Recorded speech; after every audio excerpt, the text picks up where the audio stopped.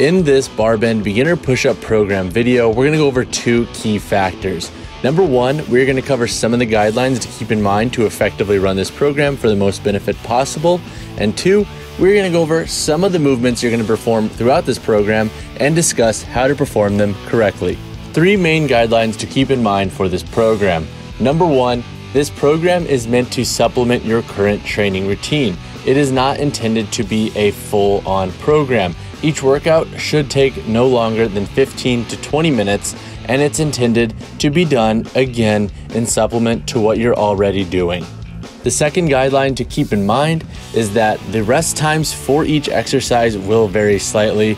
As a general rule of thumb, use one to two minutes to start. However, if you notice that you need more rest to successfully complete the reps, then take a little bit more rest time. And if you are crunched on time, then obviously flip the script and take a little bit less rest time as long as you're completing successful reps.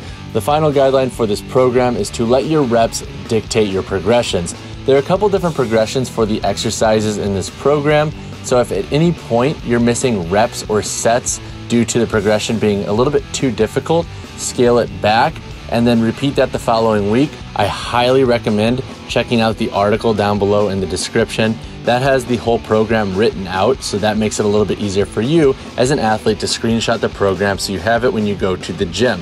Before diving into this program, try to do an AMRAP with your push ups. So perform regular push ups and try to get as many reps as possible. If you can't get any, there's no shame in that because after these four weeks, you're gonna be able to perform multiple reps in one set, and that's gonna build up our motivation to push harder every week.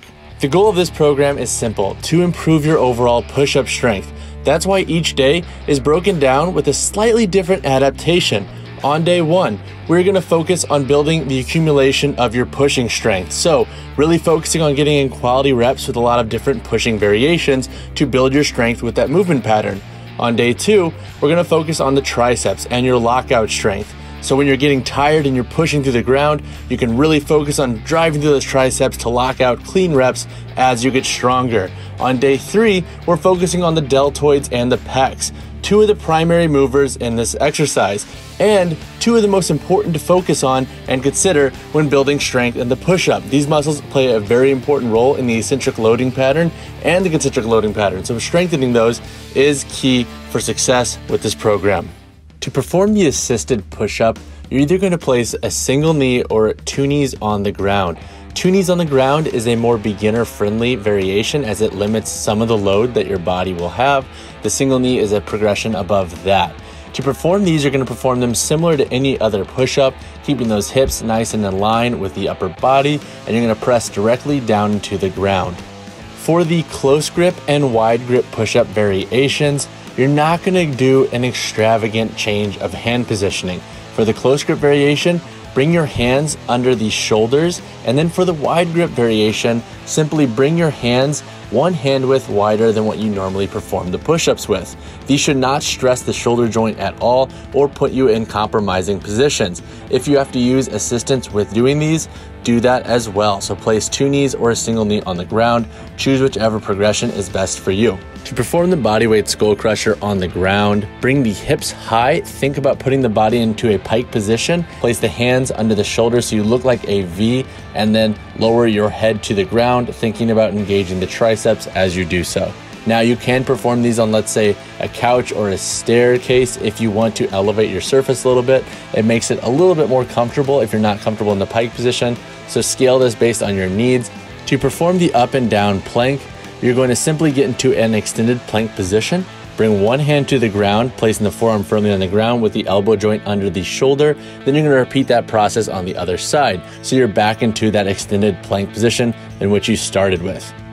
For the dead stop push up variation, you're going to simply lower yourself for three seconds, pause for a second when your elbows are roughly 90 degrees, and then lower yourself two seconds to the ground. Most people aren't going to be able to push back up. So if that is you, then get up however you want. So place the knees down and then bring the hips back and get up, or do whatever feels most comfortable for you. To perform YTWs, you're going to lay prone on the ground, bring those hands up above your head, similar as if you're making a touchdown position, and then lift the upper body slightly off the ground. Think as though you're trying to just get those pecs up off the ground. When you hit that Y position, you're then gonna bring the arms down to the sides, making a T position. And then from that T, you're gonna bring your elbows down, creating a W with your arms. And that wraps up our quick explainer of the Barbend Beginner Push Up Program. Check out that article down below. It will have the full program written out. You can easily screenshot that and take it with you to the gym.